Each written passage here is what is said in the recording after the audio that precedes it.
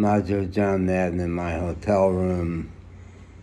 Uh, I think it's Thursday morning at just about 2 o'clock in the morning. And uh, different from all the other videos I've shot from this hotel room, I'm not standing in the window, which is over there with the fabulous view, because I've turned up lame this morning. I uh, had my car stolen about 11 days ago and had only the clothes I have had still pretty much only the clothes on my back and, and the shoes I was wearing that day were which were a pair of shoes that I had given up on months before because they hurt my feet and they're the only shoes I've had to wear for 11 days.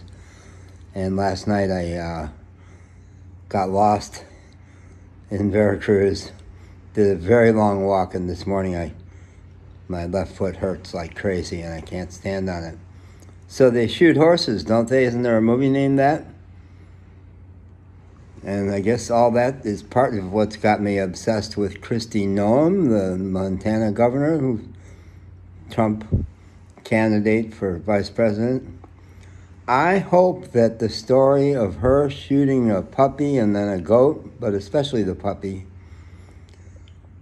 helps her become the emblem of the Republican Party. That she would become the face of the Republican Party, and it would be appropriate because they are evil people.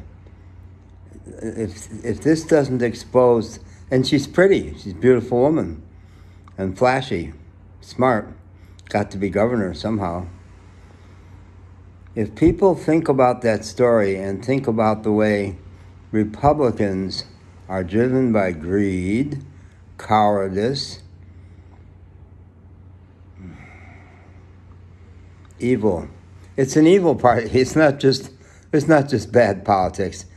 Those are bad men mostly, and then the women who are as worse, worse, worse in their cruelty than the men. Yeah who don't care about people, care about power, don't care about the country, no, care about sound bites. I've killed a dog, and I'm proud of it.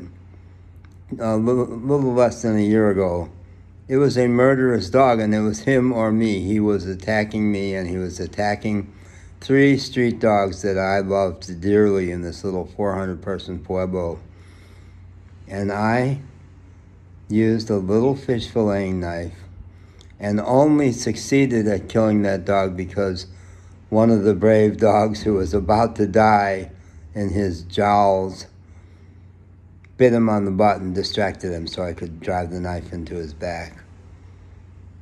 And it disturbed me because I love dogs it's the kind of thing I can't picture I would ever do, but had to to protect the innocent. I'm proud of that. I'm a good man. I routinely say that. I am a good man. I am a good man. I love people. Love the earth. Love animals.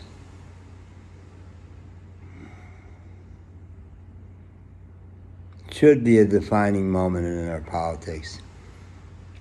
That all the evangelicals that support a despicably evil ex president because they like his politics.